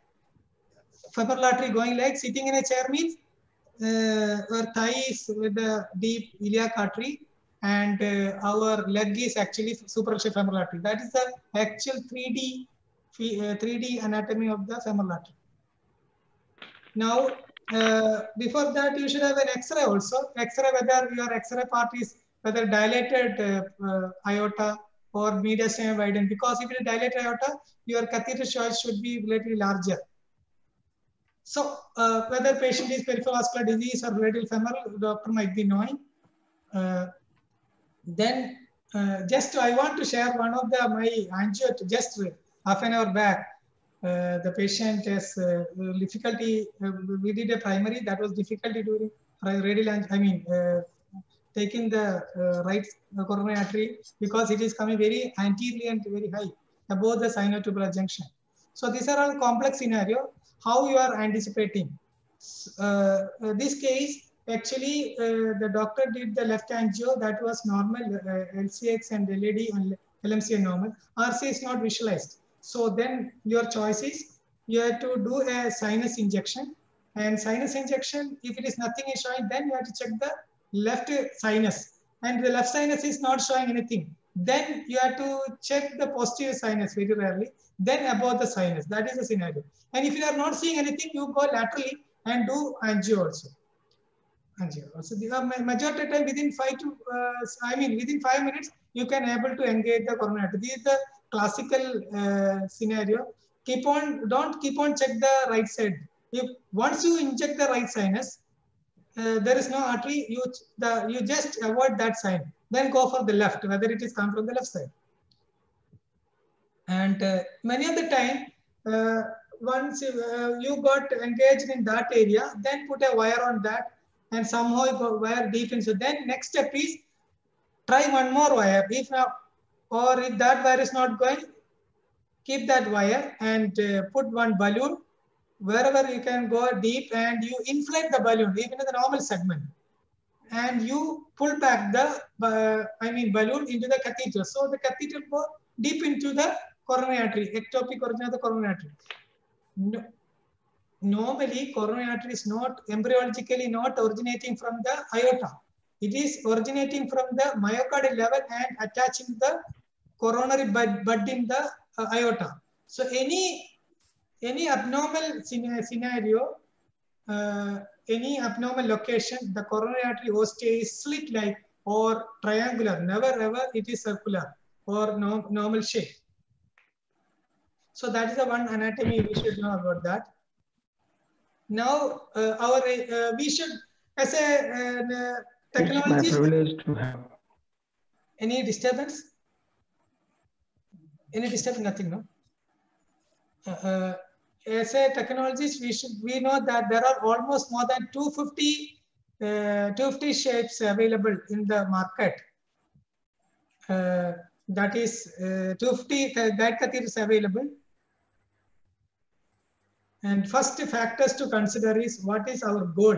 Goal is to coaxial alignment.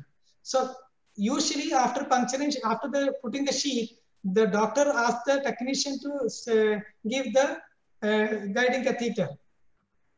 So the guiding catheter should be our. It should have good, or I mean, good uh, coaxial alignment. Whether radial and femorals are different, we should know aortic arch configuration and aortic root size, and whether small habitus or the, uh, I mean, tall fellow. And his next second goal is a support. Support is very very important. If it is simple lesion, you need not any support.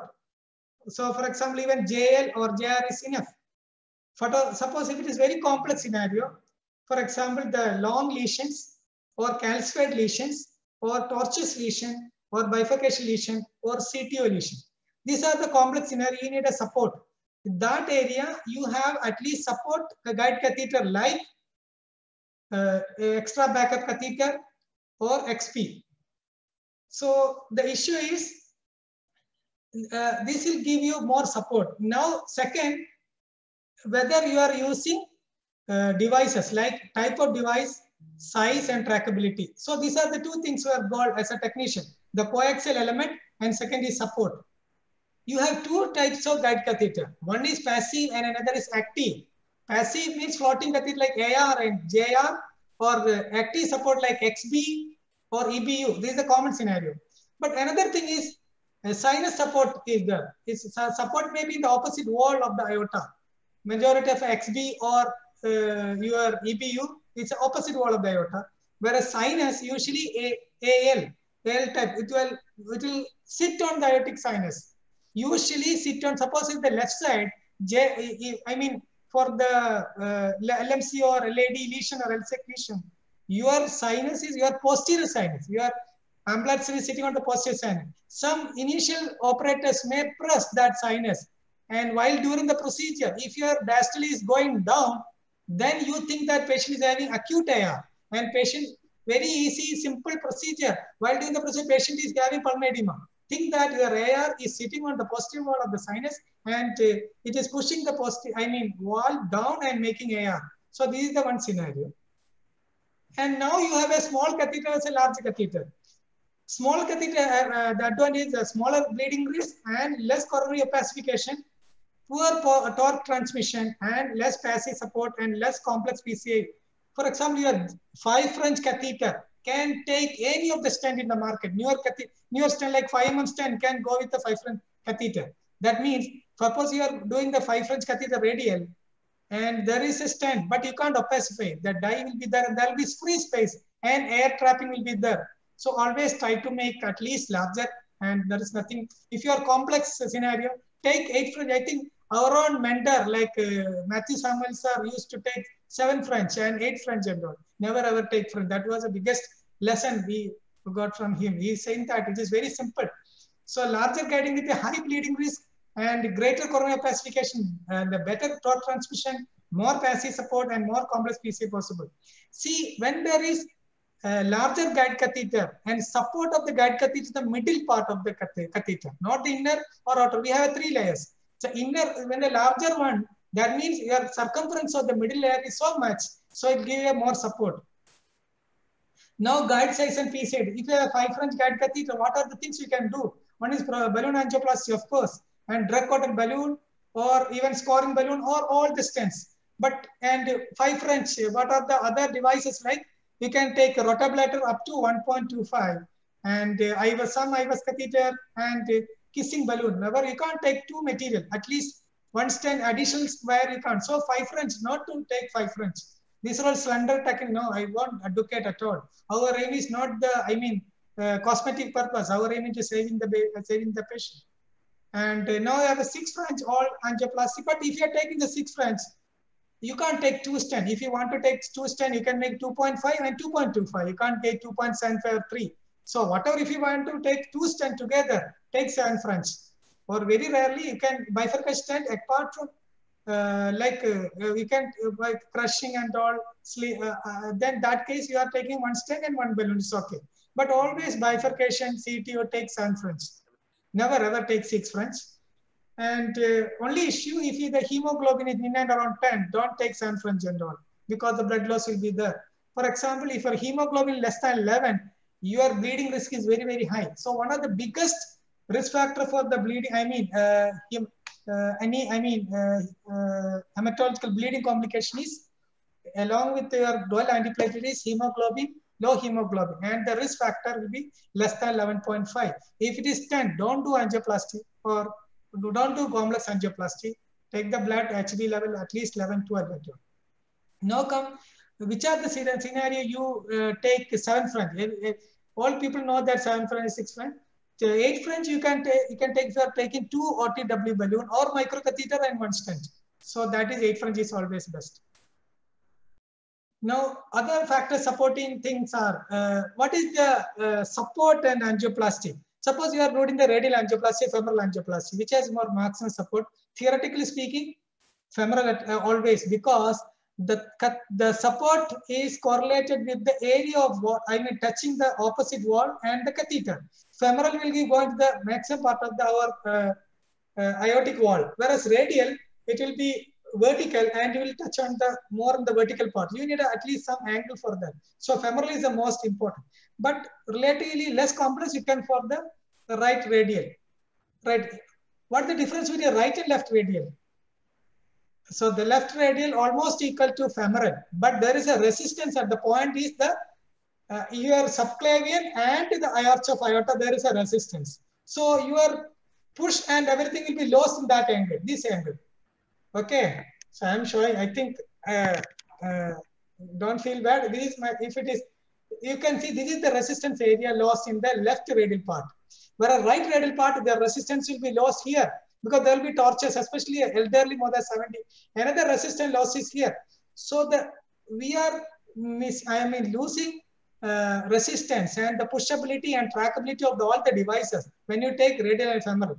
To avoid that, you have to take larger diameter catheter. For example, if you want to take a larger catheter, you can't take in an Indian scenario in the radial because many of our, our population is uh, small dwarf So the length, our body habitus is correlated with the wrist diameter. Wrist diameter is correlated with your radial diameter. Normal radial diameter 2.7 to 3, maximum around 2.78. So you can't take more than six or seven French. So to avoid that, you have a sheathless guide catheter. So sheathless uh, 5.46 French is equal to your or sheathless 6.5 is equal to regular 5 French catheter because outer diameter is smaller than the regular 5 French and inner diameter is larger than the, your 7 French. So that is the beauty of the sheathless. So you have you can do that. If you have larger catheter, okay. And if there is any resistance loss, you can put an additional wire. So that will make a, I mean, uh, to avoid the contact to the wall. That is the one thing I do. Now come the, the other factor you, can have other like deep intubation of the vessel. For example, RCA without Shepherd crook downward, you can deep intubate. How to deep intubate means especially right side artery, uh, the 38 mm or 40 mm stent may not go. So what you have to do, you have to go, you have to put a one wire, another wire and clockwise rotate. And that will go deep into the mid RCA and put the stent and come back. Like that you can do. Another physical characteristic of catheter also very, very important. And uh, passive active and we already discussed. And you have, a, suppose you have a separate ostia of the uh, LAD and LCX. Which guide catheter use? Always because separate ostia means embryological abnormality. So usually you won't get that uh, LAD, LCX, I mean ostia in your left main location. It will be uh, wider apart. If it is wider apart, you have to take downside the guide catheter. For example, JL3 for the LAD and uh, JL4 or even other XB for the circumflex. So any patient, if you have a separate ostia, it will be slightly difficult. So uh, majority of time, separate ostia means embryologically abnormal and location will be little bit superior, little bit anterior for the LAD part. Now come the aortic width. Aortic width, once the doctor put, I mean, put the fluoro, you will see the mediastinum, mediastinum larger. Then that means you have to make a larger catheter. For X-ray also give you a separate. So I can put a, at least angio also. So you can suppose narrow aorta, normal, dilated. But what we are facing now, now all of Kerala doctors and technicians are facing old age patients. So you ask one important question, whether patient is chronic hypertension. If the patient is chronically hypertensive and patient is elderly, especially dwarf patient, the aortic root is so much uh, uh, inward. For example, when you are doing the TAVI, you are looking at the angle, that angle. So we are looking deep in the, TAVI era that what is the angle of the aortic annulus with the aorta. So if it is so much deep and then very difficult for the angioplasty, then especially elderly chronic hypertensive that will grow down and medially. So that will be difficult. So these are the uh, things you can you can uh, anticipate and you can avoid long duration of cine, long durations I mean your catheter and you can help your doctors also. Now what determine your uh, curve length? Majority are youngsters here I think technologies you should know what is by primary curve and secondary curve. Primary curve from the tip to the angle, the first curve and the secondary is the lama. So depends on that you can have 3, 3.5 or 5 and all. So 5 means your larger aortic, I mean, I mean aortic aneurysm case. And location also we should know. Now, uh, for example, in separate entity like that catheter selection, uh, especially youngsters, if you are uh, doing the angioplasty for relatively young patient, majority of these patients are location are little bit high all, not normal. So that can you can do EB3 and uh, I mean JL3 like that. For the right coronary, you can always all cases. Uh, for the very, very rarely, everybody know that, but certain, I am talking about the very rare circumstances like, I think I am taking too much time on that. The, anybody is, I am taking too much time, if I'll stop there. No problem, sir. Uh, suppose if you are having uh, abnormal location, Shepherd crook uh, like scenario. So what happens? So that is very, very important, especially primary.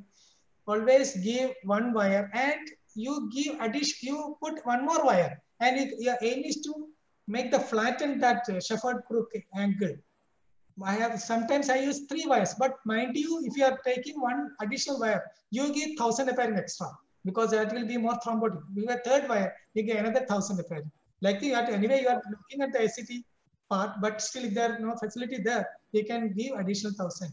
Then it might be flattened like that one. Another you can give, you can use, uh, I mean, uh, uh, like uh, AL catheter AL2. So you have nowadays the AL0.7 short Amplatz also available in market, 0.75 the smaller iota, AL1 and L2. And uh, the, very rarely, if you are not getting the proper uh, guide catheter engagement right side, then you can use either XPR or you can use even like uh, 3D RC. That 3D RC will give, suppose you are pushed down, it will give a, a AL look. If you are pulled up, it will give a AR look. So you can use either way. So that is 3DRC by the Medtronic they are giving. That's a good catheter in, in selected, in, I mean, uh, selected patients. Now come the, what is the disadvantage of the Jude catheter, I mean J, uh, JL catheter. For beginners, for left main, everything JL is okay. For example, we age old, I mean teaching is you use the JL catheter for the OC left main. But issue is JL catheter primary E catheter curve is 35 degree, but secondary curve is 180. So 35, uh, the JL, the tip of that 35, when you hook in the left main, it's okay, it's good engagement. But once you put the stent through that, it will slip away from the ostium. So because the angle is not coaxial, it is not active, it is a passive and angle is 35 degree and stent and other thing may not go. So only very, very rarely, if it is very difficult, you can use JL and also sometimes very straightforward cases or patient is very high uh, takeoff, you can JL three. Now the circumflex, circumflex, suppose if all the stand, everything is okay, then your stent is not going, then you pull back the catheter, then it will be coaxial. That's the one technique for the circumflex entry and uh, passage of stent and rotablator, whatever it is. And second point, circumflex very difficult. You can use even Amplatz also. Am I crossing the time? I'll stop it. Okay. No problem, sir. And and one more thing, uh, uh, Amplatz, uh, if you want to take the Amplatz out, majority will deepen, everybody know that, but you push down and uh, deviate from the ostium. That's the one technique. Uh, how time? How much now?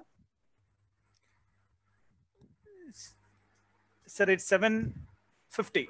Okay, so then I can stop it. Anybody having doubt, I will continue with that. And one more catheter, very, very rarely, that is Arani, uh, the Arani catheter. Arani catheter is double angle and 90 degree for the RCA. So for example, Arani will come like S-like, uh, the touching on the ipsilateral aorta and also touching on the contralateral. So it will give you more support. So these are rare thing can, you should have, a, I think, I think in your cath lab, in very midnight cases, taking long time, relatively junior doctors, and uh, if you have a such catheter, it will be easy. And uh, for sorry for all this because I have beautiful uh, Uh, slides and all. It's only very short. Uh, I mean, uh, I got this topic only two three days back by the board.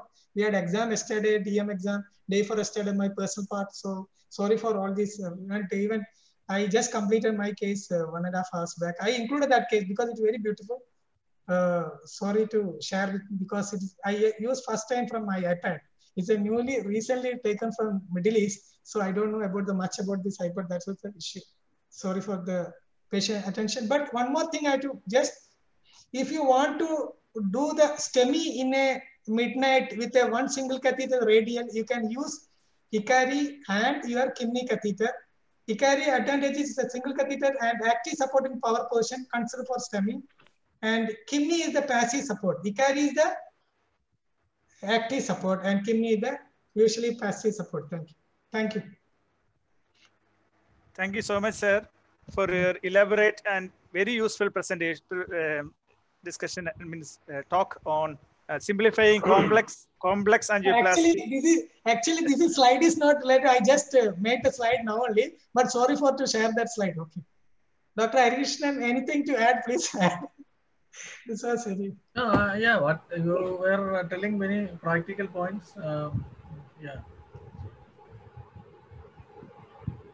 Yeah, about the Amplatz catheter, I think uh, we have to be very careful when he, when he uses it. Whenever I had some aortic dissections uh, happened, uh, all over with Amplatz catheters only. So uh, be very careful to use it when you push and pull and all, especially when you are taking out some stents or uh, balloons and all, you have to be very, very careful because if your if your aorta is suppose your Amplatz catheter tip is above your coronary sinus, that means your aorta is small or your Amplatz catheter is larger. Suppose your Amplatz catheter tip is below, that means your aorta is large and or your Amplatz catheter is smaller for the patient. That is a clue. Suppose you have an Amplatz when you, which you go up means either your aorta is small or your is larger. You have to compress either of them. And the Amplatz catheter, if you use ox, always check it because Amplatz you have to, it is not like uh, Judkins. It may not directly go. You have to push and pull. So when you give an ox Amplatz catheter to the uh, cardiologist, always check and just pull it and see its integrity. Then only give because uh, old because you need significant manipulations for the Amplatz to go into the corona. Yeah. Any other uh, comments or any other cases to be presented? No, sir. Shall we move on to the uh, concluding remarks by Wilson, senior Yeah, before that, technician? I am very happy to see so so many of our uh, students uh, who are leading the many of the labs in the state and in, in the country. Whenever we go to some conferences, we see them uh, doing very good job, and uh, many many of them are the uh, are, are the key persons in those particular cath labs. Very happy to see them in uh, doing their work and coming out in flying colors. Thanks for the SCIP to, to arrange such a meeting and giving a chance to meet many of them. Thank you. Thank you for a nice words, sir. Thanks so much, sir.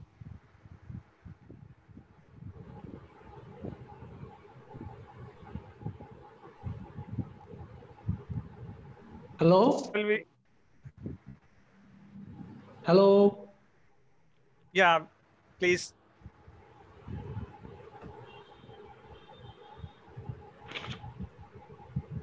Hello, Wilson Kekam. Yeah, the, before uh, the vote of thanks, there's a good news from uh, Lisie Hospital. Uh, we are excited and proud to share that the Optico study, which Lisie Hospital was also a major site and principal investigator, was selected for presenting at ongoing TCT 2020. This study is the first large OCT study from Indian, India and South Asia. This Optico data showed that the use of OCT and ACR led to a huge change of angiography-based decisions in 90% of the lesions treated. That is the slide shown there, Optico study.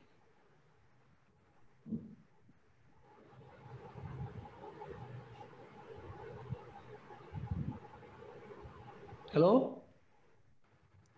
Yeah, please go ahead. Please go ahead. Yeah. Uh, it was nice. Uh, such a one of our uh, uh, studies getting accepted in TCT. It is a very uh, what is very prestigious uh, thing to get something accepted in TCT. That to a series of uh, a, a- study like like a series of uh, cases. Uh, usually, uh, our case reports or uh, single cases get accepted, but uh, to get a study accepted in TCT, it's a wonderful thing. Congratulations for the Lisie team. They are doing wonderful job with OCT. We know that whenever they present Maroni or Jabir or the other team members present, excellent cases where they use the wonderful tool OCT to uh, guide the PCI. Congrats again. Thank you, sir. Hi, friends. It's my privilege to have been asked to propose a vote of thanks on this webinar. I am on behalf of uh, SSCP here extend a very hearty vote of thanks to all. I may like to express our sincere thanks to Dr. Harikrishnan and Dr. ASM Ashraf for erasing your important work and sharing with us your findings. Finally, I would like to thank, take this opportunity to thank the organizers of this meeting. I also extend my thanks to Abbott team for their perfect logistic and financial support extended to us. Thank you.